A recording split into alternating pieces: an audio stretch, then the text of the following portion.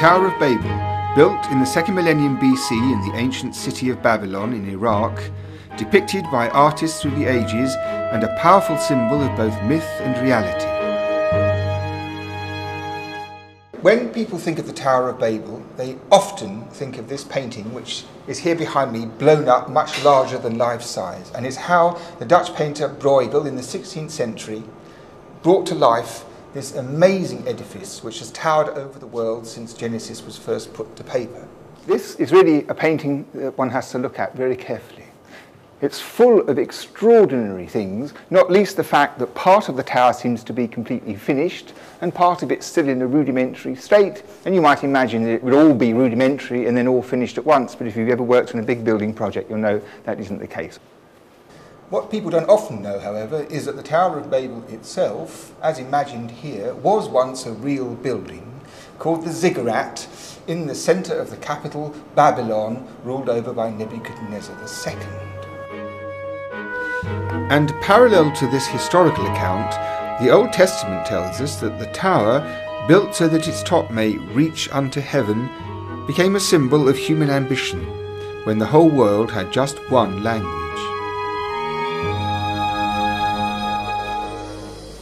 Nothing remains on the ground of Nebuchadnezzar's huge edifice, the ziggurat. Nothing remains at all. All the bricks have vanished. But when the surveyors investigated, they established that the ground plan was about 91 meters square. So it was a huge building.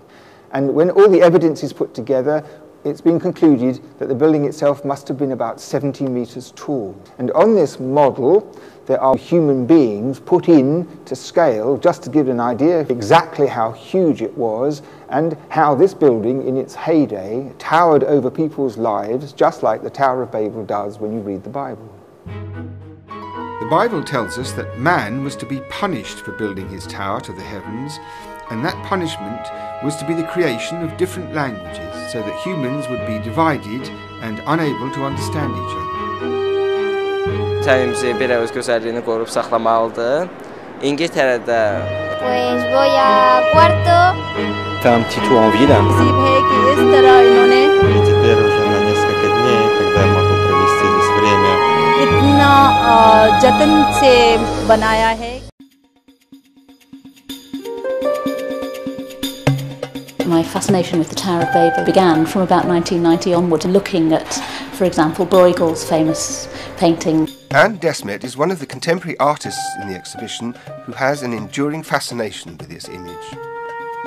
The Tower of Babel story is, is, is significant in that um, I find it as a symbol of human aspiration um, and, and folly, that combination of, of the, the, the ambition of, of human ideals and human dreams and then, and then perhaps overreaching themselves sometimes, but there's still something wonderful in that ambition.